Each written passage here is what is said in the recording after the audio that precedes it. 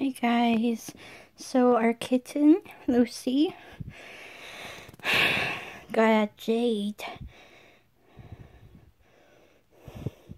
His wing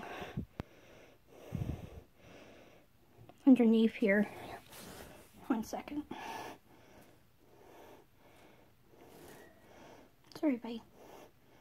Yes, yes, yes, I'm a big bad person that is opening up your wing.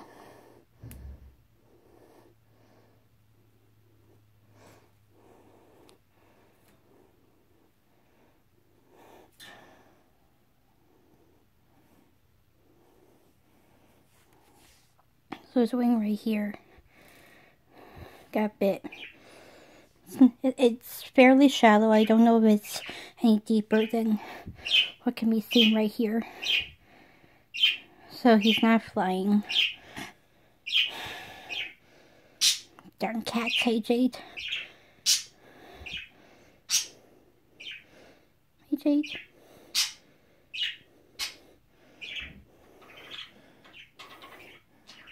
Yeah, right there. There's no fresh blood, but it seems that her she managed to bite in. She had in her his mouth like this, like this, and she bit into his wing from underneath. So hopefully he'll live through the night. Anybody? Well, he has Sky for company. Hey, Jade? No, don't bite me. Hey. Hey, you. Yeah, you. He's a pretty bird. I better put him back now. Yes, yes, yes. There we go.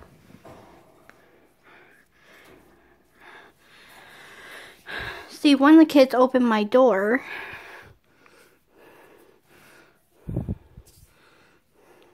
And uh, she got in when it shouldn't have been open.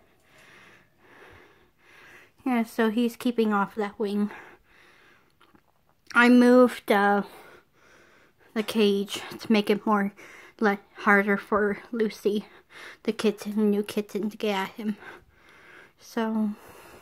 Oh, and since it's winter, that's why it's a little bit messy in here. And so since it's winter,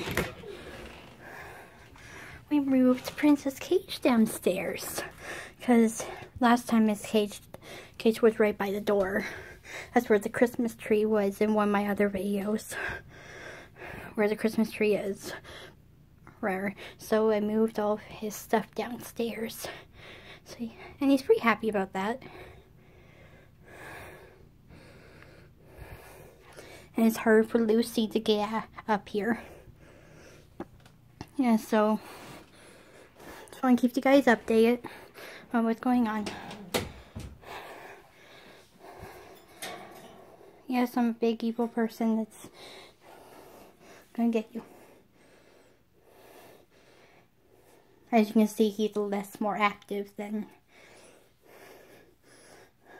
than uh, Sky so they don't make such a big mess. Okay, bye.